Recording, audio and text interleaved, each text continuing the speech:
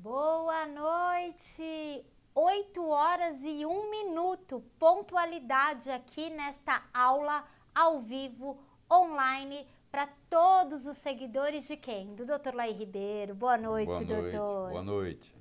Boa noite, gente. Tá todo mundo aqui, o pessoal do Instagram, o Instagram oficial do Dr. Lair, DR Lair Ribeiro, né? O pessoal do Facebook também com a gente. Boa noite para vocês.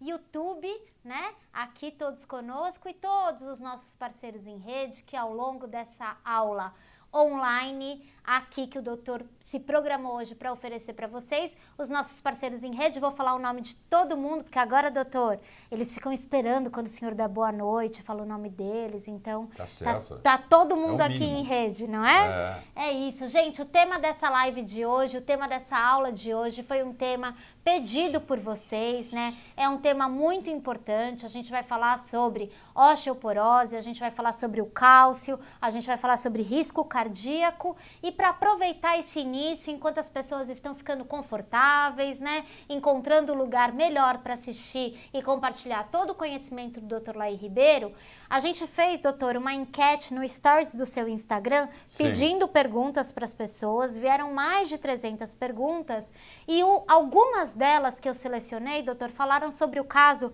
do ômega 3. O senhor está por dentro disso, saiu uma pesquisa recente falando do ômega 3, falando que o ômega 3 talvez não fosse assim tão benéfico. Então vamos aproveitar todas essas câmeras e todo mundo que está em rede aqui para o senhor começar com esse esclarecimento, doutor? Pois não. Primeiro eu quero dizer que se você entrar no Google Acadêmico e digitar benefício do ômega 3, tem mais de 180 mil citações científicas. Se você entrar no PubMed, que é uma plataforma bem mais pobre, tem 14 mil trabalhos científicos publicados. Com referência ao que vocês estão mencionando, que é um trabalho chamado ASCEND, A-S-C-N-D, que foi publicado da Inglaterra no New England Journal of Medicine, é um estudo que durou 7,4 anos, começou com 15.480 pessoas e terminou com 11 mil e pouco, que é 76% de adesão. O problema está no desenho do estudo, porque, primeiro, eh, não tem placebo. Foi comparado com um grama de azeite de oliva. E nós sabemos muito bem que o azeite de oliva tem muitos benefícios. Eles deram um grama de azeite de oliva, um grama de óleo de peixe. Primeiro, o azeite de oliva, para ser colocado como placebo, tinha que ser feito um estudo provando que ele é placebo. Isso falta. Eu acho, na minha opinião, que faço uso de azeite de oliva diariamente, que um grama de azeite de oliva pode fazer uma grande diferença. E segundo, os estudos que tem com relação à doença, porque eles pegaram pacientes diabéticos, todos eles, mas que não tinham nada detectável de doença cardiovascular. E acompanharam esses pacientes por 7,4 anos e levaram em consideração infarto, eventos importantes, derrames, acidente vascular cerebral, infarto e morte. Então, apesar de não haver significância estatística, a tendência sempre foi a favor do ômega 3, que também foi usado em dose muito baixa. Eu nunca faria um estudo usando um grama de ômega 3. Os estudos que tem mostrando que tem um efeito terapêutico é em torno de 4 gramas. Quando foi descoberto o efeito benéfico do ômega 3 pelo Dr. Jorn Dyberg, na Dinamarca, visitando lá a Groenlândia ou Groenlândia, ele descobriu que o, o esquimó que morava lá e que não tinha infarto, e que não tinha derrame, e que não tinha Alzheimer, e que não tinha câncer, ele fazia uso de 14 gramas de ômega 3 por dia, porque ele comia só é, peixe e foca, que são riquíssimos em ômega 3 na região lá da Groenlândia. Então, 14 gramas ficou bem claro, porque na época a, a mortalidade por, por infarto, por doença cardíaca, nos Estados Unidos era 40%, na Groenlândia era 5,3%. O doutor Daiberg falou: "Ó, o que está acontecendo aqui? Deixa eu ir lá ver. E nos próximos 12 anos ele fez cinco expedições para a Groenlândia, ele trouxe aquilo que eles comiam por dia, média, e viu, e pôde detectar em laboratórios em Copenhague, que tinha 14 gramas. Quer dizer, de 14 gramas para 1 grama faz uma diferença muito grande. Então, primeiro, ah, não deve-se usar placebo e não azeite de oliva. Segundo, eu acho que a dose foi meio homeopática. E terceiro, quando você faz a análise ah, do, das mortes, mortes por causa vascular, foi 18% a menos no ômega 3 do que no azeite de oliva, e com significância estatística. Mas por que, que o estudo não destaca isso? Eu não consegui entender. Bom, é uma coisa importante, 18% é um número interessante. Quer dizer, 18% de redução em mortes vasculares. E isso não é, está nas entrelinhas, isso não foi destacado no estudo. Então a nossa conclusão é o seguinte: já que tem 14 mil no PubMed, mais de 180 mil no Google Acadêmico, mostrando os benefícios do ômega 3, com tudo isso e mais de, sei lá, mais de 70 livros publicados sobre o assunto no, no Amazon.com, isso não me abalou e eu acho que esse estudo é, foi patrocinado por alguém para confundir, como vem de vez em quando um para confundir. Agora, eu gostaria de deixar bem claro que o ômega 3 é um suplemento que a gente não pode economizar para comprar, não, porque ele é muito fácil de ser oxidado. Uhum. Então, é uma coisa que eu não, não economizo é comprar ômega 3. Ou você compra um ômega 3 de primeira qualidade, ou é melhor você não tomar. Porque se ele tiver oxidado, ele vira veneno. Então eu também nem sei qual é a qualidade desse ômega 3 que foi no estudo. Tem mais essa. Sete anos, 7,4 anos. Como é que tinha controle disso? E uma coisa que me surpreendeu muito é que com a tecnologia de hoje, por que, que eles não mediram o ômega 3 na, na, no, no eritrócito, na hemácia? Para ver se esses indivíduos estavam realmente tomando ou não. Então tem vários furos no estudo. Essa é a verdade. Doutor, vários furos no estudo, né? É, infelizmente, a manchete do estudo, né, dizia que o ômega 3 é, não, não era tão importante assim. É, nos últimos tempos, doutor, de forma até sistemática, algumas substâncias muito consolidadas, né, substâncias naturais muito consolidadas no tratamento, vitamina D3, né, é. o óleo de coco, o ômega 3, vem sendo questionado por pesquisas, né? É verdade. E pesquisa, às vezes, que traz mais um poder econômico do que científico, porque alguém patrocina. Esse é que é o grande problema, né? Agora, doutora, a gente também recebe algumas perguntas e acho que é uma oportunidade do senhor falar também sobre a questão do uso de, de, de dessas substâncias e de medicamentos, né? É. O que, que, que, o senhor Eu pode falar sobre isso? Quero deixar bem claro que toda apresentação que nós fazemos aqui para lhe ajudar, nós não estamos aqui para receitar, nós não estamos aqui para falar para você parar de tomar medicamento. Tem medicamento que você tem que desmamar dele, que ele tem síndrome de abstinência e pode causar sérios problemas. Ah, nada vai substituir o seu médico. Eu acho que você tem que fazer é levar o problema para o seu médico. Perguntar ao seu médico. Se o médico tiver em dúvida, você até apresenta para ele a live que você assistiu aqui. Tá? Mas eu não estou aqui para substituir médico não é isso. Eu sou contra a automedicação, eu acho que tem muito problema. E eu não sou, eu sou contra você sair daí tomando suplemento sem orientação médica. Deixar isso bem claro. Quer dizer, eu acho que você nunca deve parar o seu remédio, o seu medicamento por conta própria. Você pode discutir com o seu médico, você pode ver, porque tem remédio que não pode ser parado abruptamente. Deixar isso bem claro. Ótimo conselho. E aí, pessoal, todo mundo preparado? Isso daqui só foi uma pequena introdução para a live de hoje, né, doutor? O tema, vocês já viram, foi muito importante o senhor falar sobre essa questão de tomar suplemento por conta própria, porque hoje aqui também estamos prontos para falar a verdade sobre alguma, algumas formas de suplementações, né, certo. né, que podem trazer mais prejuízo do que vantagem. O tema de hoje, osteoporose, o risco do cálcio isolado e inorgânico. Doutor, tem um monte de gente dando boa noite para o senhor e pedindo para o senhor dar pelo menos um oi. Então, o doutor vai dar um oi geral para todo mundo aqui. Boa noite. Eu quero agradecer a sua presença, porque eu sei que você parou o que você estava fazendo para nos assistir. Eu faço questão de dizer para você que vai valer a pena. Eu sou um indivíduo extremamente pragmático, eu estudo muito, mas eu estou interessado é no dia a dia que a ciência ela é muito importante para chegar na praticidade. O que interessa é a sua vida, o que interessa é o seu bem-estar, o que interessa é a sua saúde. Uma teoria pode ser muito bonita, mas se ela não mudar a sua vida, eu recomendo que você jogue ela fora. Então nós temos sim toda a teoria, todo o embasamento científico para chegar aqui. Mas eu quero dizer para você que essa noite vai ser extremamente pragmática. Tá bom? Obrigado pela sua presença. É isso, gente. Conhecimento na prática. E vamos começar, doutor. Vamos começar. Antes, doutor, só uma pausa para dar um abraço para todos os nossos amigos que estão aqui em rede com a gente. O Moisés da Saúde e Bem-Estar, o Júnior Alac, Medicina e Saúde, João Dapper, Nutrição, Alimentos e Companhia, Ricardo Grum, Minha Saúde e Curas Naturais, o grupo Mundo das Ideias do Dr. Laí Ribeiro no Facebook. Todos vocês, boa noite. Obrigado por estarem em rede e levando essa mensagem, esse conhecimento do Dr. Laí Ribeiro para a gente começar. Doutor, o que é osteoporose?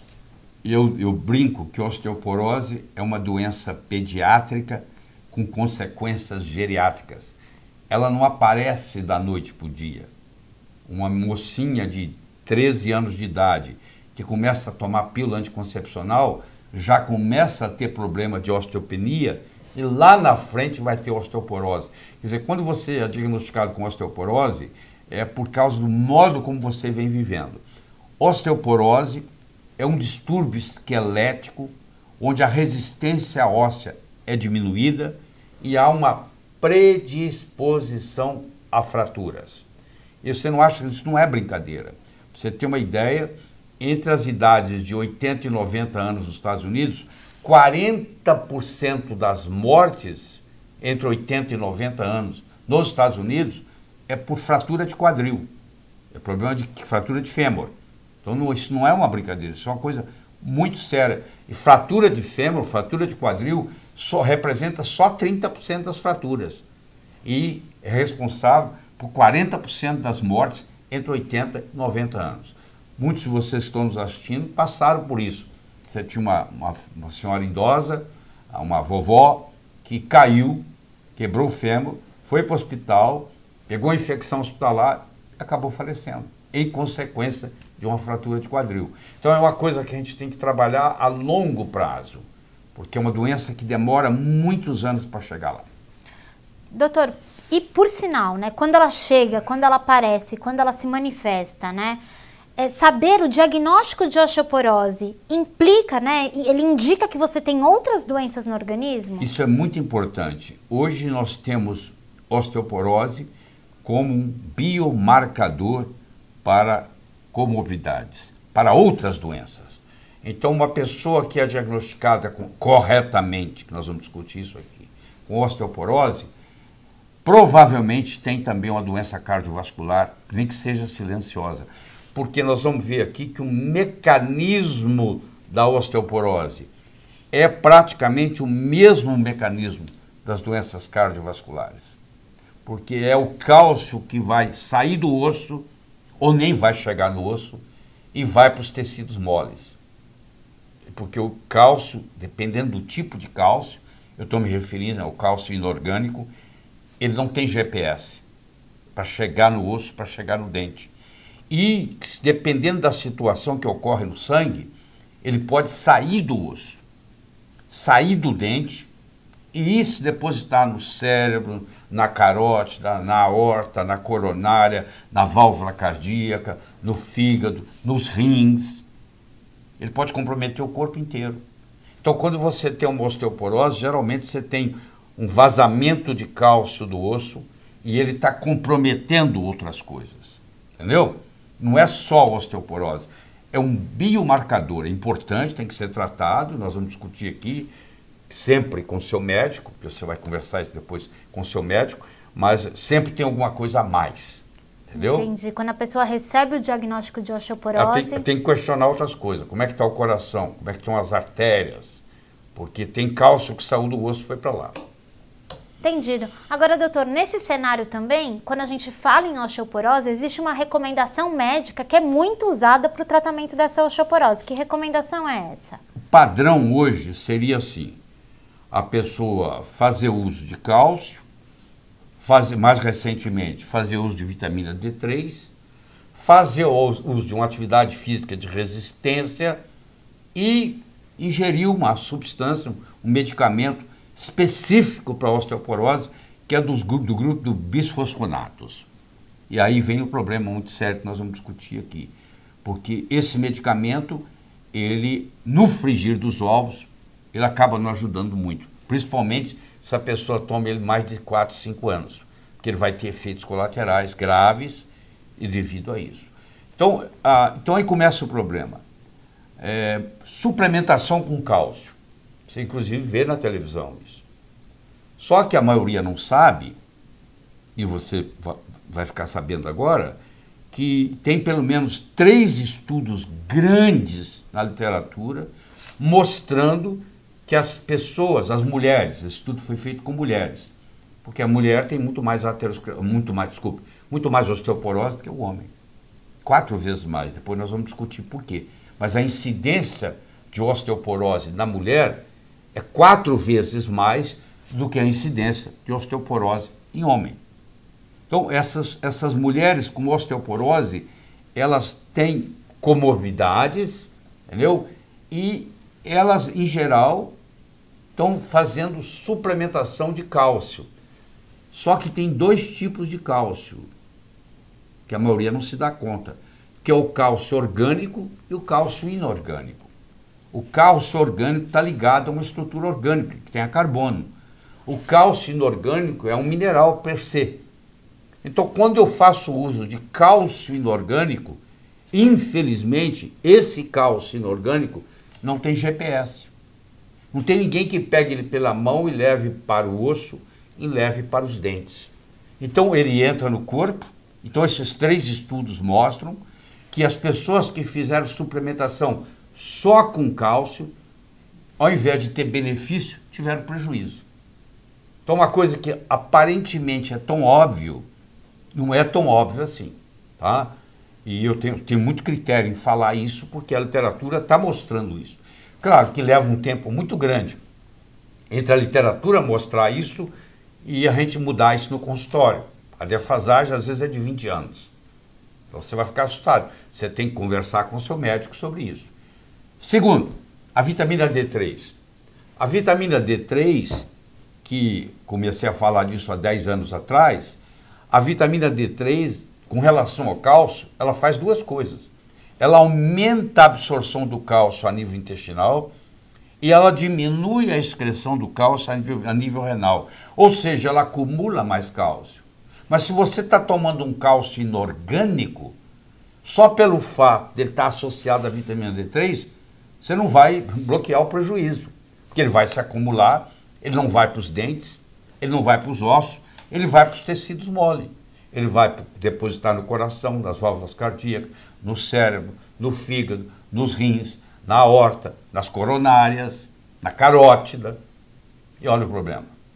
Então, ah, eu tomo cálcio, mas eu tomo cálcio com D3. Não é suficiente.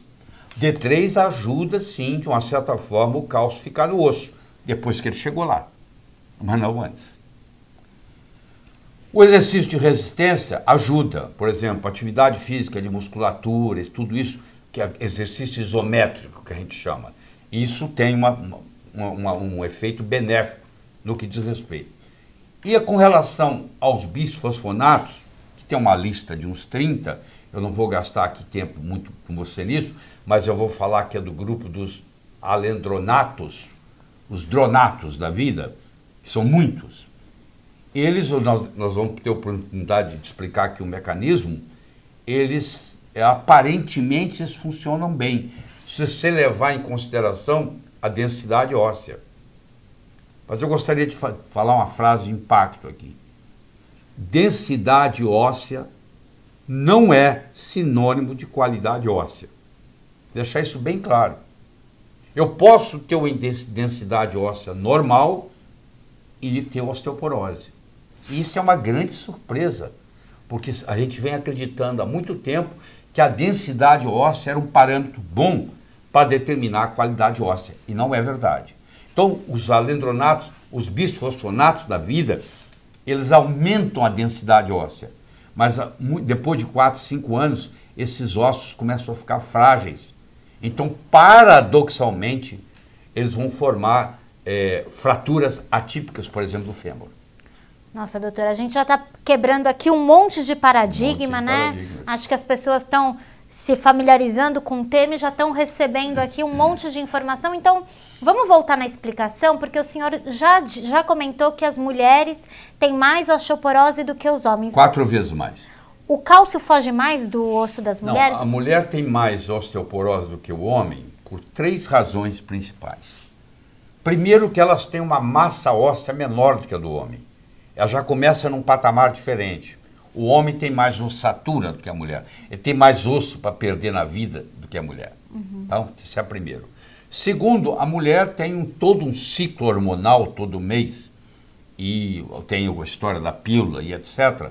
Então, ela tem várias variações hormonais principalmente quando ela chega aos 51, 52 anos de idade, que é a média brasileira da menopausa. Então, nesse período, ela perde muito osso, porque ela, ela perde o hormônio progesterona, que estimula a produção do osso, e ela perde mais de 50% do hormônio estrogênio, estradiol, mais especificamente, que inibe a degradação do osso.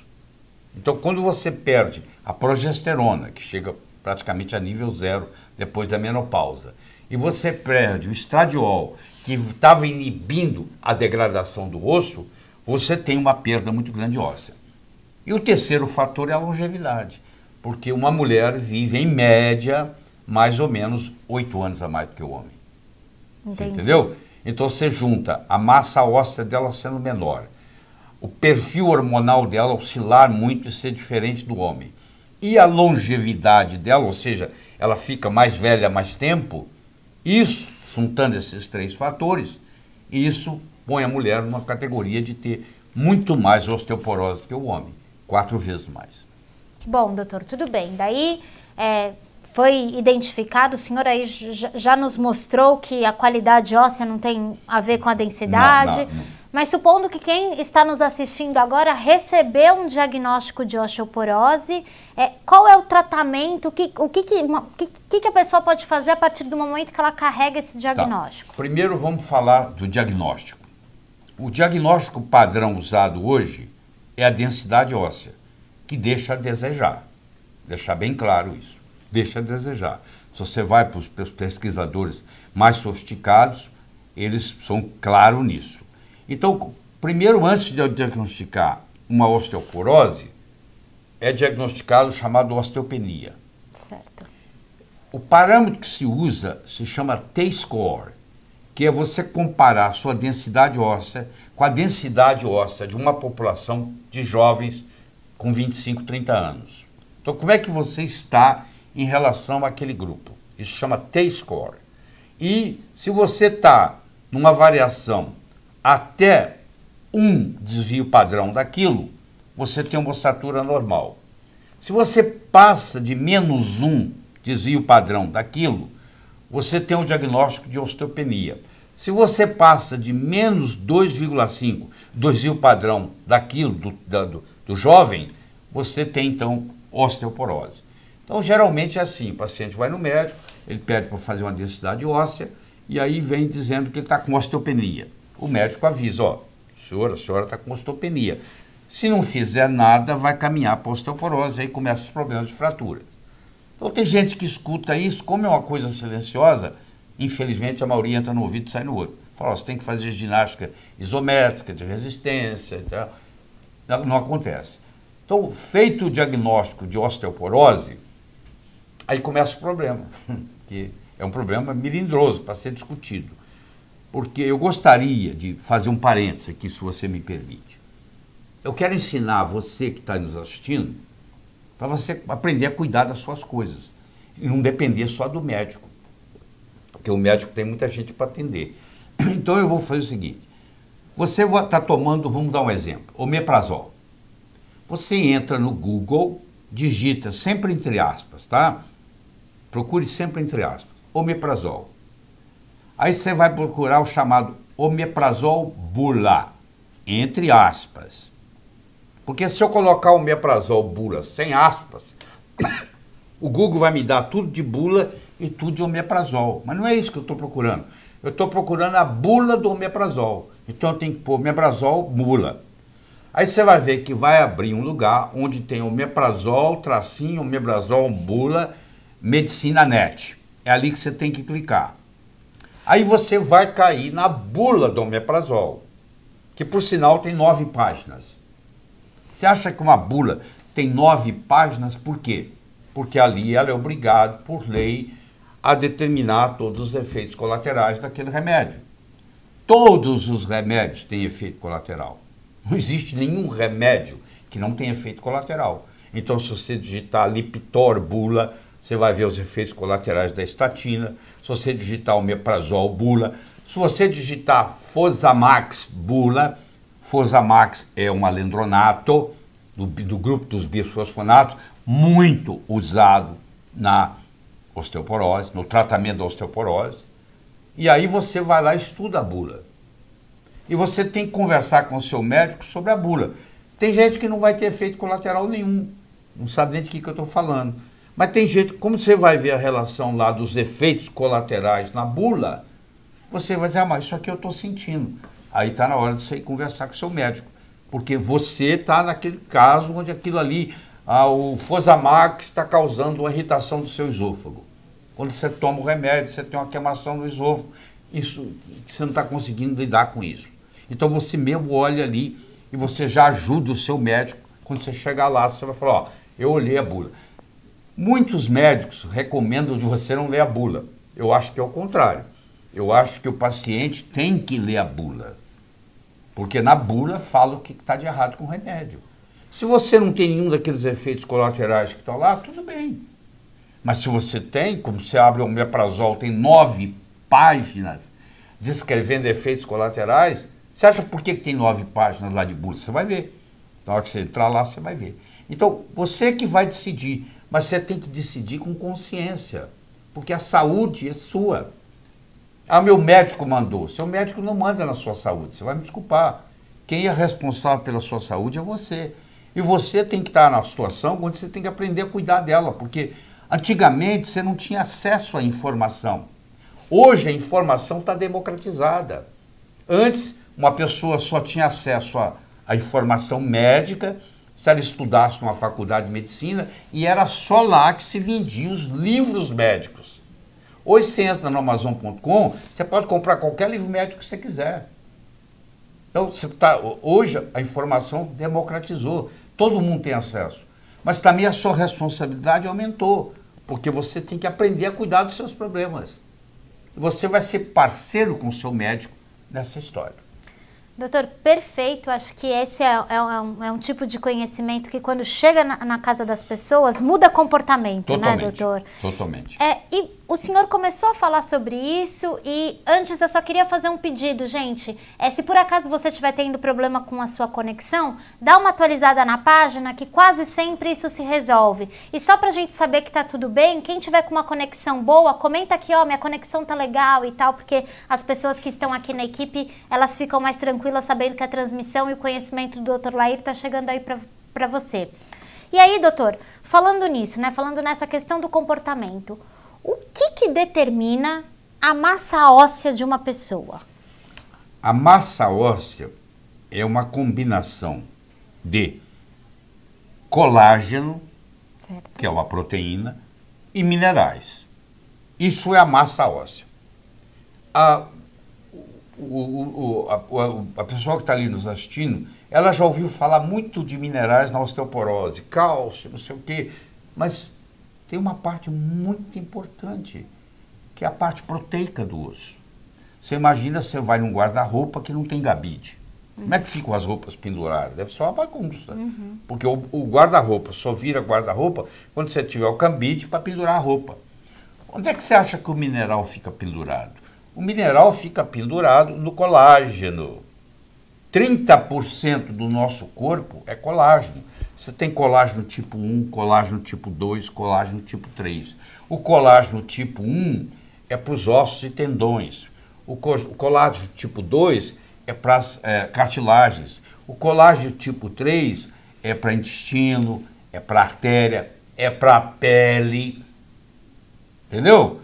Então, se eu quero ter uma pele bonita, eu tenho que ingerir coisas que têm colágeno. De preferência, colágeno tipo 3. Então, na parte da osteoporose, a massa óssea ela é formada de colágeno e minerais. O que determina essa massa óssea? Primeiro, é a genética. Você vai encontrar gente que tem uma ossatura muito grande, e você vai encontrar pessoas asiáticas, por exemplo, que têm uma ossatura pequena.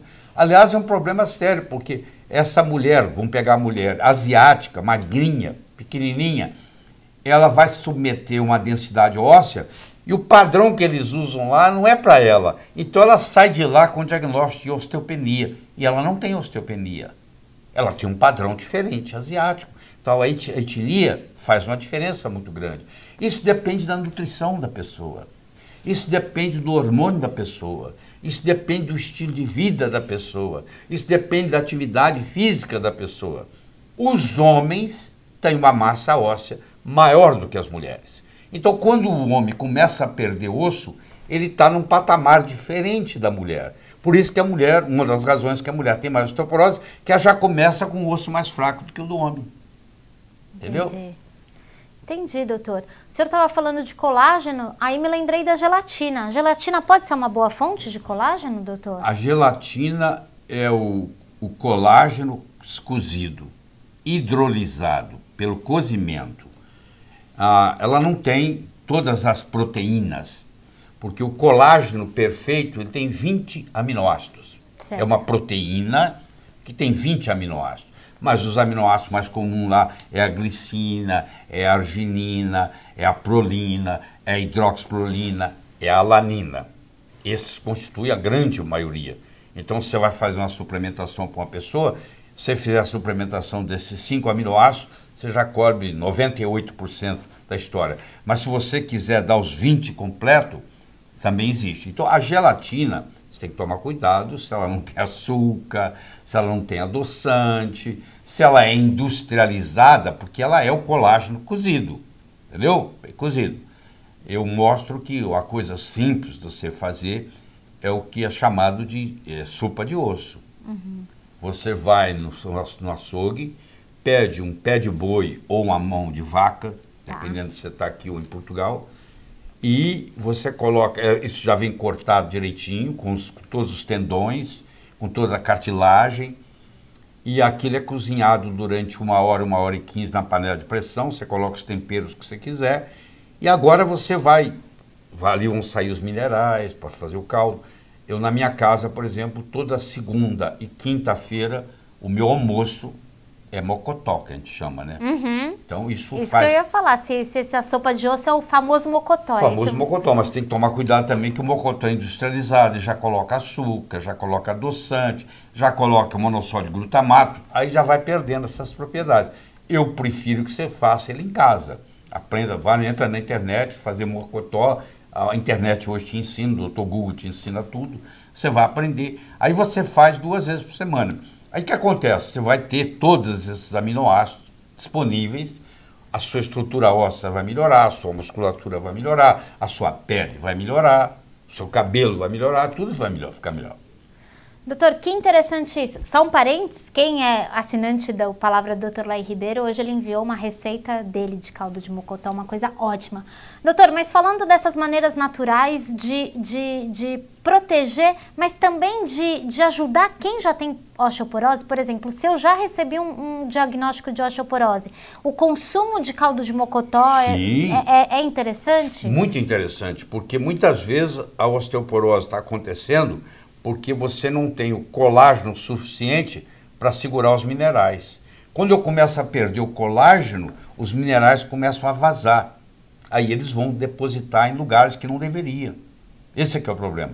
Eu estou tomando a vitamina D, por exemplo, que, que aumenta a minha absorção de cálcio e diminui a minha eliminação de cálcio.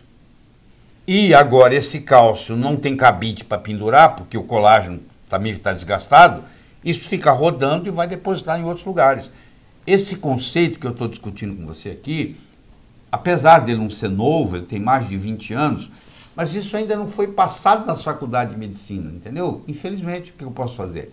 Lá é ensinado ainda que o negócio é cálcio, que é não sei o quê. O, o foco é colágeno, gente. Porque o mais importante que os minerais, ou tão importante, é o colágeno onde os minerais ficam. Então, quando eu vou tratar uma osteoporose, Eu não posso me preocupar só com a parte mineral. Eu tenho que preocupar com a minha parte mineral e com a minha matriz, que é proteica, que é colágeno. Doutor, e daí, veja se eu não estou errado. O senhor está me, me contando aqui que a osteoporose ela é resultante de uma fuga do cálcio do osso. É né? um dos mecanismos. Um dos mecanismos. Então, isso não necessariamente significa que eu preciso ingerir mais cálcio, por isso que a suplementação pode ser um problema. É e, isso? É, também. Porque se você for olhar no osso, ele tem duas células especiais.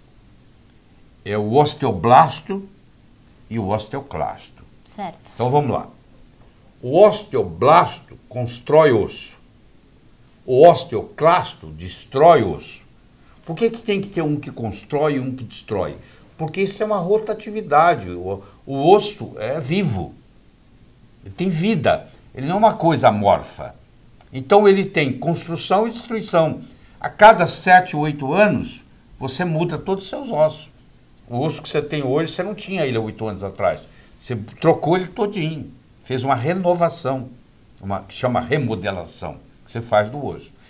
Então, olha só, se o osteoclasto produz, o, oste, o, desculpa, o osteoblasto produz e o osteoclasto destrói, eu, para manter um osso forte, eu posso aumentar a força do osteoblasto, ele produzir mais osso, ou eu posso diminuir a capacidade destrutiva do osteoclasto. Concorda? Sim. Infelizmente, muitos dos remédios para osteoporose eles matam o osteoclasto. Então você imagina, agora eu não tenho mais destruidor de osso, mas eu tenho que constrói osso. Então meu osso continua sendo construído, mas ele não é renovado, porque agora eu não tenho osteoclasto para comer o osso velho. Então esse osso agora ele é construído, quando eu faço a densidade óssea, ele está lindo. Olha lá que bonito que está seu osso. Mas só que ele é frágil. Ele quebra com facilidade, porque ele é um osso velho. Não houve renovação, não houve remodelação. Então, a princípio, achava-se que seria uma solução matar o osteoclasto. Só que isso aí você está mexendo no mecanismo da vida. Você está entendendo? Então, o que, que eu tenho que fazer? Eu tenho que estimular o osteoblasto, e muitas vezes isso é feito com hormônios, porque a mulher vai perdendo a progesterona com o passar da vida, que é o que estimula no caso dela, a produzir osso, e o homem vai perdendo a testosterona, que é, no caso do homem, produzir osso. Ainda tem mais. Com a menopausa, a mulher também cai o estrogênio, cai o estradiol, que era um inibidor natural do osteoclasto. Não deixava ele trabalhar muito para comer demais. Uhum. Ele diminuía. Então eu paro de produzir com a progesterona e paro de destruir com a. E, e, e, e ele inibia o osteoclasto. Agora ele não inibe, o osteoclássico passa a comer mais. Então diminuiu a produção e aumentou a. Pronto, aí perde o osso. Desmorona, né, doutor? É, essa, é, Agora, a... não é a solução também é matar o osteoclasto. Certo. Então o que acontece com esses, esses remédios usados para osteoporose? Nos primeiros anos, é lindo. Você olha, a densidade óssea está linda. Mas aí, a partir dos 5, 4, 5 anos de uso, começam os problemas. A ponto da indústria farmacêutica que produz esses alendronatos da vida, esses bisfosfonatos, causa, formar uma coisa que chama feriado do remédio, drug holiday. Ou seja, parar de tomar por um tempo. Ah, você toma por quatro anos e para um pouco. Esquisito isso, né? Se é um remédio que te faz bem, por que, que você tem que fazer holiday? Por que, que você tem que tirar férias dele? Aí começa o processo. É muito simples. Você que está nos assistindo, você é internauta, senão você não estaria aí. Você vai no Google, digita o nome comercial do remédio e põe bula, e põe entre aspas, e clica Enter. Aí o que, que vai acontecer? Vai cair numa página onde vai aparecer o nome do remédio e o nome do remédio, bula. Você clica ali e vai aparecer o nome, o nome, o nome do remédio, o nome do remédio bula e Medicina Net. É assim mesmo. Você clica ali, você vai cair onde? Na bula do, do remédio. Aí você vai ler a bula. A bula está lá, a lei exige que se um remédio causa um problema, ele tem que estar tá na bula. Agora, se você toma o remédio e nem sabe o que está lá, Você, como consumidor, você tem o direito, um direito seu, quando você compra um remédio dentro, dentro da caixinha, tem a bula. Leia a bula. Se você tem alguma preocupação do que está na bula, vai lá conversar com o seu médico. Fala, doutor, isso aqui. Ele vai te dizer o percentual que acontece e tudo mais. Você e o seu médico têm que ser parceiros nisso, entendeu? Porque muitas vezes você pode tomar um remédio desse, não tem problema nenhum, por muitos anos, ou você pode ter um, um, um problema sério. Ah, o caso dos alendronatos, eles podem causar toxicidade renal, eles podem causar fibrilação atrial, eles podem causar câncer de esôfago, que é uma coisa muito mais séria, eles podem causar é, necrose da mandíbula, que é uma coisa muito séria, e eles podem causar fratura do fêmur. É uma fratura atípica. O remédio para osteoporose sim, pode causar. Sim, Sim, senhora. O remédio é, ele causa uma fratura subtrocantérica, que chama, num lugar até diferente no osso. Olha que paradoxo. Ele tá, o paciente está tomando para poder prevenir fratura. E agora ele causa fratura. Depois de 4, 5 anos do remédio, ele começa a causar fratura. Isso está descrito na literatura. Seria muito leviano da minha parte trazer uma informação dessa sem que estivesse documentado na literatura, entendeu? Doutor, nós já estamos aqui com mais de 40 minutos, a gente está Passou com uma audiência. Passou rápido, é muito conhecimento. A gente tem uma audiência que é uma audiência muito fiel, então que muito bom. obrigado por todo mundo que está aí. E eu não poderia deixar de trazer uma pergunta que foi muito feita pelos nossos internautas e pelas pessoas que participam conosco, que é sobre o magnésio, né? Qual que é a importância e qual é a relação que existe entre cálcio e magnésio quando a gente está falando de osteoporose, doutor? O magnésio ajuda o cálcio a ficar quietinho no osso. O magnésio é o maestro de todos os minerais. Há 2,7 bilhões de anos atrás, os seres eram unicelulares e eles eram anaeróbicos. Uhum. Aí surgiu uma organela chamada cloroplasto e no centro do, da clorofila, que é a molécula de clorofila, existe o magnésio. E a clorofila foi fazer a fotossíntese. Ela começou a produzir oxigênio no planeta. E graças a isso nós estamos aqui. O Brasil é conhecido pela Organização Mundial de Saúde como um país pobre em magnésio. Porque para você ter magnésio no solo, você tem que ter água magnesiana. Para você ter água magnesiana, você tem que ter vulcão. Como o país não tem vulcão, graças a Deus, ele também tem água magnesiana pobre. Então o solo é pobre. Se o solo é pobre, a planta que cresce naquele solo também é pobre, porque a planta não sabe fazer magnésio, ela retira do solo. Então o brasileiro, de um modo geral, ele tem uma certa deficiência de magnésio. Magnésio é antiarrítmico, magnésio é um relaxante, magnésio participa de mais de 500 reações enzimáticas no corpo, é uma coisa impressionante. E o magnésio contribui sobremaneira para manter o cálcio quietinho lá, na, lá no, no, osso, lá no dente. Então, quando você dá cálcio, ou você dá vitamina D, você vai ter que dar magnésio também. Faz parte do conjunto.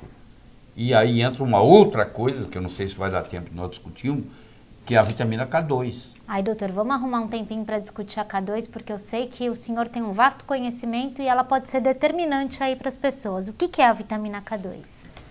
Nós médicos na faculdade de medicina estudamos a vitamina K.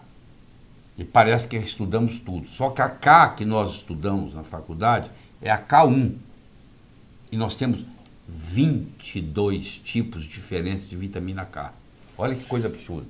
A gente estuda uma que tem a ver com a coagulação. Mas é a K1, que não tem deficiência. Toda vez que você comer uma coisa verde, ela está lá. Tá? Todas as hortaliças, tá, ela está lá. Essa é a K1, que tem ação na coagulação. Agora, o que eu estou introduzindo aqui é a K2, que tem uma ação muito grande na mineralização dos ossos. Ela é o que eu chamo GPS do cálcio ela pega o cálcio pela mão e diz, ó, você não pode ir para o coração, você não pode ir para o cérebro, você não pode ir para os rins, eu vou te levar para onde você tem que ir, que é para o osso e para o dente. Então ela é o GPS do cálcio. Maravilha, é. doutor. E foi interessante a história da K2, porque ficou um mistério de mais de 60 anos.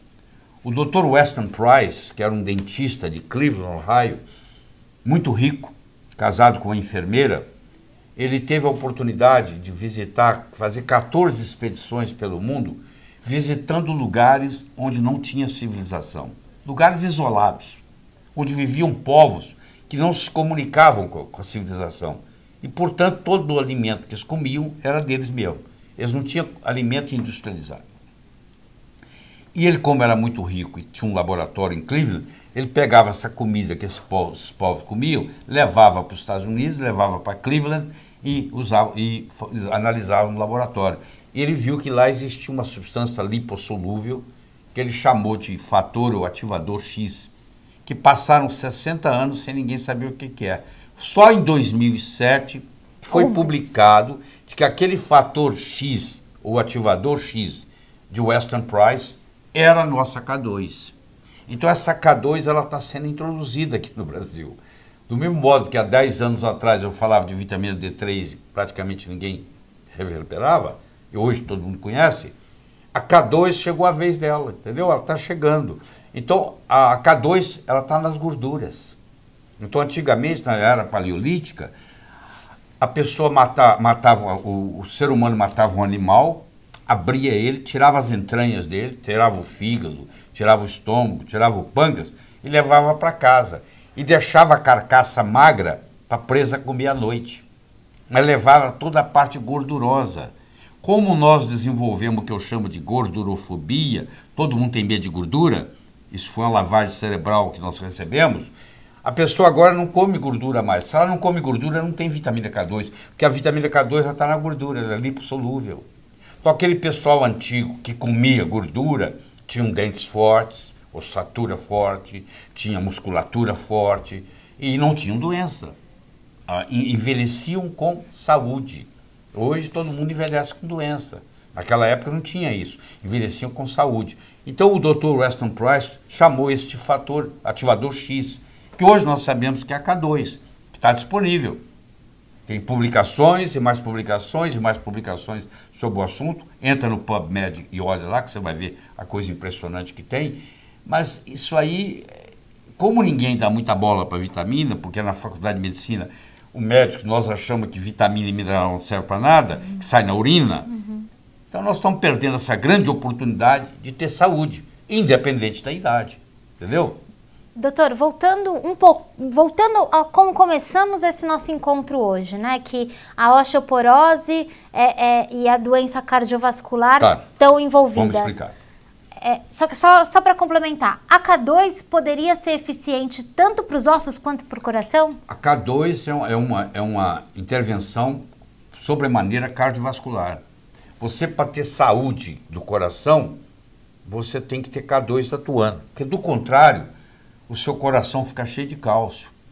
O índice mais preditor hoje de doença coronária, de doença cardíaca, é o índice cardíaco de cálcio. É a quantidade de cálcio que você tem no seu coração. Quanto maior o índice cardíaco de cálcio, índice de cálcio no coração, maior a chance de você ter doença cardíaca, de você ter infarto do miocárdio, de você ter arritmia. Então é uma coisa séria. Olha que interessante. Esse cálcio está lá por quê? Porque está faltando GPS para ele. Quando você dá K2, e tem estudos mostrando isso, quando você dá, no estudo de Rotterdam, por exemplo, mostrou que você pode reduzir em até 57% as mortes súbitas e infarto agudo do miocárdio em ser humano, com o uso da K2, para você ter uma ideia, estudo de Rotterdam, na, na Holanda. Então, o que acontece? A, a K2 vai lá, tira esse cálcio do coração e leva esse cálcio para o osso. Então, você começa a perceber que osteoporose e problema cardíaco no fundo é a mesma doença. É o cálcio que vazou do osso e veio para o coração. Então eu causei osteoporose e causei doença cardíaca. Quando eu trato bem tratado a osteoporose, que é fazer isso voltar para lá, eu também estou tratando a doença cardíaca. Olha que beleza isso tudo. E isso está bem divulgado, viu, para os estudiosos. Divulgado, viu, para os estudiosos. O PubMed tem 22 milhões de publicações médicas. E só nesse ano de 2018 serão publicados novos 500 mil trabalhos científicos. E tem 22 milhões já publicados. O médico está no trabalho dele do dia a dia, ele não tem tempo para estudar, nem teria. Ele trabalha o dia inteiro. São pessoas como eu, que não tem nada para fazer, que ficam o dia inteiro sentado estudando. Só que quando eu estudo isso e apresento, o cara fala, esse cara ficou louco, pô, tá inventando. Eu vou inventar o quê, pô? Tem tanta coisa na medicina, eu vou ficar inventando coisa. Mas como eu tenho tempo e condição financeira, e, e tudo que eu estudo de medicina é em inglês, eu não estudo nada em português, eu tenho acesso a todas essas publicações. E é a tendência do mundo. Só que isso leva tempo para chegar aqui, entendeu? Infelizmente. Então, para eu tratar uma osteoporose sem K2, não tem jeito, porque K2 é o GPS que vai tirar, tirar o cálcio dos rins, vai tirar o cálcio do cérebro, vai tirar o cálcio do pulmão, vai tirar o cálcio do fígado, vai tirar o cálcio da aorta, vai tirar o cálcio da carótida, vai tirar o cálcio da coronária e vai levá-lo para o lugar que deve ficar. Olha o valor de tudo isso. Então você que está aí nos assistindo, você entra no Amazon.com e digita, lá Vitamin K2, que tudo isso tem que ser digitado em inglês. Você digita, você vai ver o que, que vai acontecer. Entendeu? A quantidade de coisa que tem lá. Você entra no Amazon.com, vai na seção de books e digita Vitamin K2. Você vai ver a quantidade de livro que tem mais de 40 livros só sobre K2, livros médicos sobre K2, só sobre K2, para você ter uma ideia. E aí o pessoal fala, ah, isso não é científico. Vai fazer o seu dever de casa, como não é científico? Doutor, a gente está caminhando para o final. Eu só vou pedir uma licença para dar uma dica para você que está nos assistindo também. Todo esse conhecimento, tudo isso que o doutor se dedica para estudar, pode estar a seu alcance, pelo